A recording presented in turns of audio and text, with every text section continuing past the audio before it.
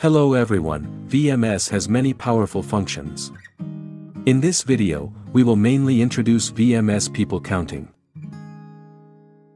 People counting is necessary in many scenarios. For example, in famous scenic spots, if it does not manage the real-time number of people, some unfavorable situations may occur, such as reducing the tourist experience, causing damage to the scenic spots and public facilities. Therefore, UNV IP camera with people counting function can effectively manage personnel.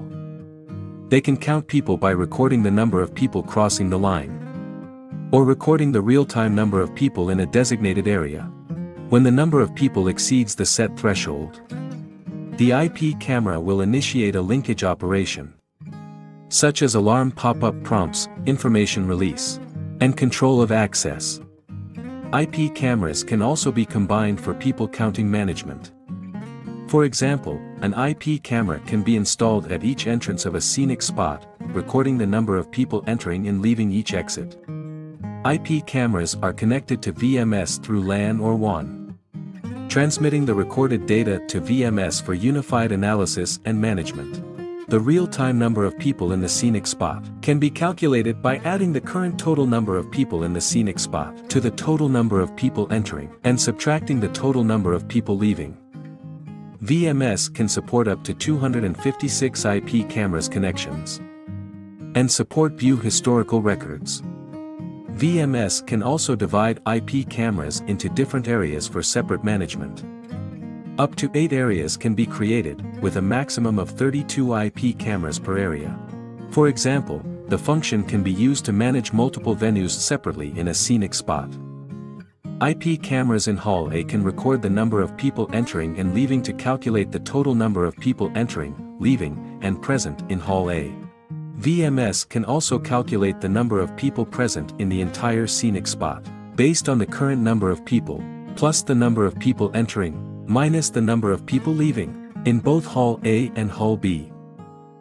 Currently, VMS does not support custom data conversion between IP cameras. So it is recommended to set up an IP camera at each entrance of each area. VMS people counting is suitable for various scenarios. For example, chain stores can count the customer's interest in product areas and adjust subsequent product planning. VMS also provides an SDK for third-party integration, transmitting people counting related data to third-party platforms for their respective business display.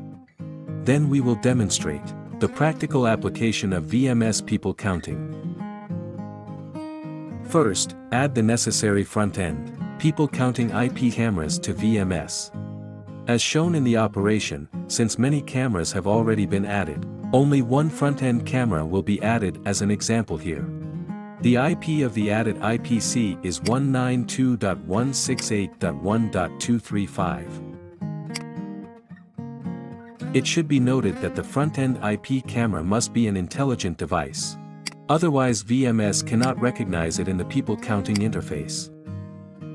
Select People Counting in the main menu of the VMS client. In the people counting interface of VMS, we can choose to view real-time data and historical data. Here, let's first view the real-time data.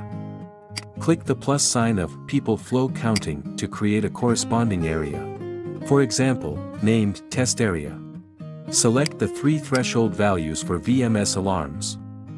When the number of people in the underlying IP camera exceeds the threshold, a corresponding alarm will be triggered.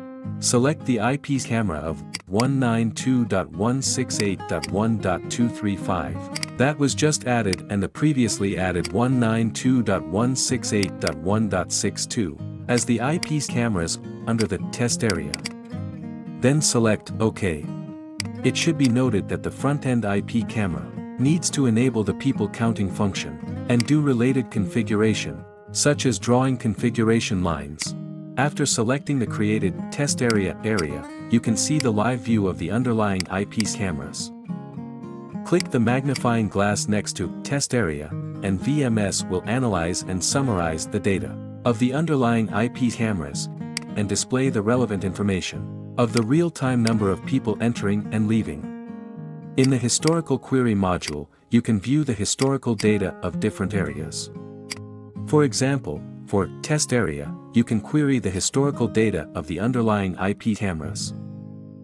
You can also modify the minimum granularity of historical data, such as minutes, hours, days, months, and select the corresponding time period.